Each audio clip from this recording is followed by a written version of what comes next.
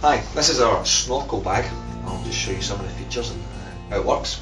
Uh, the main compartment here uh, opens with uh, two zips and you in the middle. So simply open it up. Just give you a big open space inside uh, to put a pair of fins in.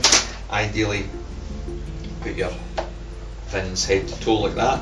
It makes it a little bit less wide. Go.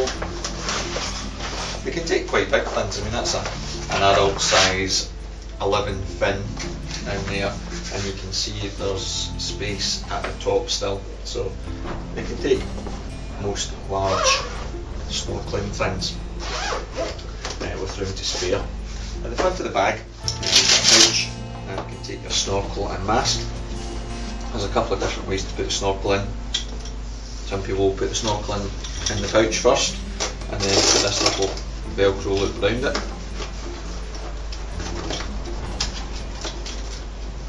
Then your mask can go in this pouch as well. Velcro's over the top. The pouch has mesh down here so any water in here can drain completely through and, and uh, let the, the contents dry quite quickly. Similarly the main compartment has a large drain hole right at the bottom here that allows any water to just drip out the bottom. The other way of doing your snorkel is to not have it inside this compartment. You could just have your mask in that compartment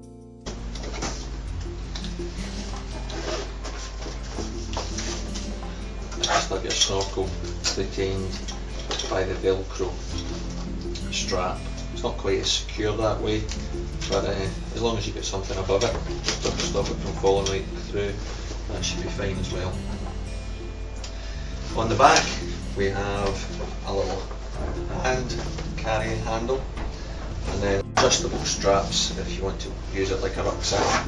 You can just use it over one shoulder if you like or you can wear it like a proper rucksack and use both the straps and then adjust it via the, the pull toggles to, uh, your comfort.